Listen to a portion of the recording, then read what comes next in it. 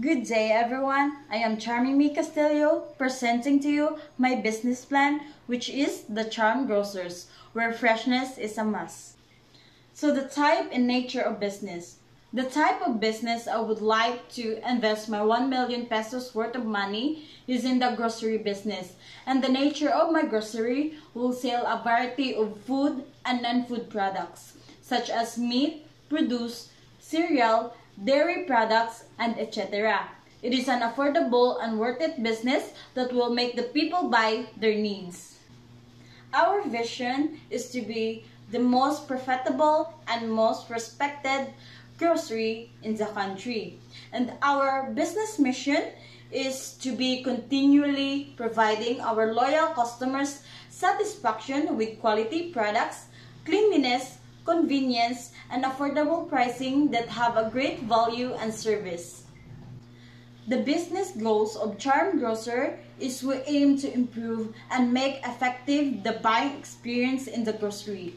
Make the employee better, more confident, polite, and friendly to our fellow customers. Also, to increase the profit that we able to expand in the next level. Next is the five business objective of the Charm Grocers. First is we conduct a training program in the employees to improve the employee skills. Second, we increase the profit margin.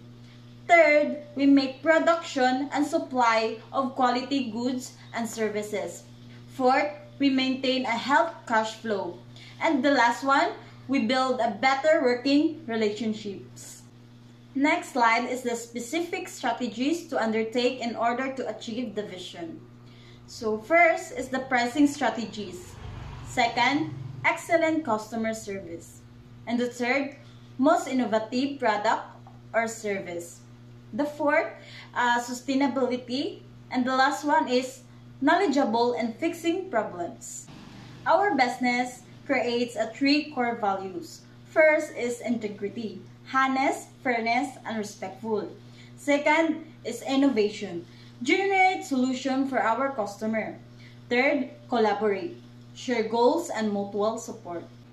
As you can see, this is the organizational structure of business and this structure is a functional structure that based on the function of each position within the business and the knowledge and skills of the team member that perform each role. Lastly is the SWOT analysis. Strength. Give a discount. The location is convenient to the customer. Weaknesses. The supplier are delayed. It deals with fragile inventory every day. Opportunities. Promoting by the social media help and broaden community. And lastly, threats. Have a competitors and also changing regulatory environment. Thank you for listening to my business plan, which is the Charm Grocer.